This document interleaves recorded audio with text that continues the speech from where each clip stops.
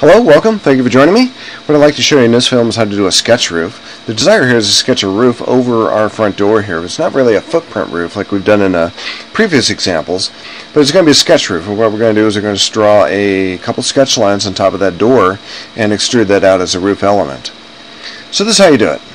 If you go to uh, your, uh, your, your, your ribbon, and go to the roof button here and go to the expanded panel arrow and pull that down and go to the roof by extrusion, first thing it's asking for is uh, what plane you want to use. If you have a defined plane already in uh, Revit architecture, you go ahead and use that. We probably don't by now. So by default, it's going to have us, uh, with the radio button clicked over here, it's going to have us pick a plane. And what you do is you run along your model. What you try to do is go to the edge of the model and that'll help you highlight a plane. You'll notice that that plane is uh, kind of lit up with a blue border, and that's the plane that we want. We're going to go ahead and click on that. Level is arbitrary because we're going to be drawing in horizontal. It doesn't really matter what level we choose. So choose the default setting, and offset's going to be zero, and then go to OK. It kind of gives us a kind of a ghost uh, edge image to our model that we've drawn so far. And what it's looking for, and we'll just adjust it a little bit it's looking and giving us the ability for some sort of uh, sketch lines. From these sketch lines, it's going to be able to extrude a roof. So let's go ahead and create some reference geometry. I'm going to go to the midpoint of the door, and it's using the very same symbols that we remember seeing in AutoCAD. It's the midpoint. Uh, it's the midpoint. Uh, you know, object snap. We're going to draw a line up maybe about uh, three or four feet. Probably go up about three feet six inches, and draw another line off arbitrarily off to the side. The reason I want to do it arbitrarily is when you select that line again, it gives you the ability to adjust those dimensions. Right now it's object snapping to a lot of the bricks that are on there and some of the other reference geometry that's around there. We may not want that. So I'm going to make that line 6 feet long. I'm going to make the angle about 60 degrees. Press enter. And just like in AutoCAD, we have a mirror function. So if we click on this line, go up here to the mirror by pick axis, what we're used to in AutoCAD is a mirror by drawing an axis, so we drew an axis in AutoCAD. But in this one, we're going to do mirror by picking an axis.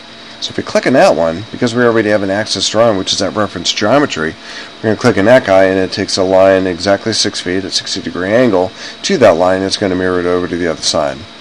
So take your cursor, go off to the right. Just to clear that command, delete our reference geometry, and then go to our green check mark and we should have a roof that goes inside the house, not outside of the house. So this is kind of weird in some respects. So Revit is very sophisticated. In other respects, it's kind of clunky. And what we have with this flashing wall here is that we have two elements trying to occupy the same space. So you see the roof popping out in some places and the bricks popping out in other places. Okay, to fix this, what you want to do is grab this uh, just stretch grip and move that back this might be a little bit easier to do if we're on one of the levels, so let's go to level 2 and see what that looks like. So there's our roof. It kind of goes through the, you know, the house and intersects that wall and unattractive. So we're going to bring that back over here. You're going to take that the end of that grip and just drag it off to the right. And just like in AutoCAD, we can pass the grip that's there and just go to the right side of that and click it into place. What we want is some sort of exact dimension here. So if you click on the roof itself, uh, we can type in a dimension here, maybe 5 feet. Problem with that is it kind of stretches it and brings it away from the wall. So let's do this. Let's bring that back to the wall. Don't necessarily have to lock it into place, but let's take this one and move that over so we can get somewhere close to 5 feet. So there's 5 feet 1 inches. Go ahead and uh, click on that and uh, you can change your dimension if you select the object first and that's a fairly common thing in uh, Revit architecture. You can't change the dimension if it's a permanent dimension unless you select the object first and it highlights in blue. So type in 5 and that should be in pretty good shape and I believe my uh, roof is still connected to that wall. We can verify that by going to our 3D view. It's still selected there. So it actually stretched it out by 5 feet and still connected to the wall. You can see that uh, bold black line in the back. And to make that roof consistent with our other roof, we're going to pick the appropriate roof, which is our wood rafter 8 inch asphalt shingle insulated roof. And that completes our sketch roof.